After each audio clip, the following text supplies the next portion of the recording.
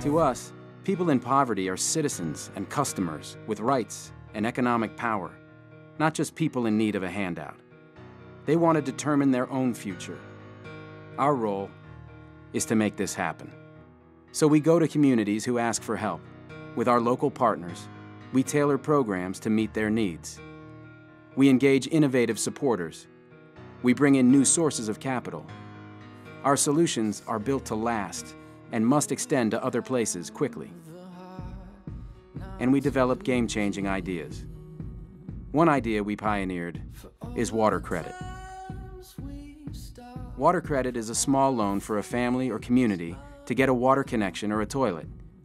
We convinced banks to make loans that weren't being made by sharing the financial risk with them.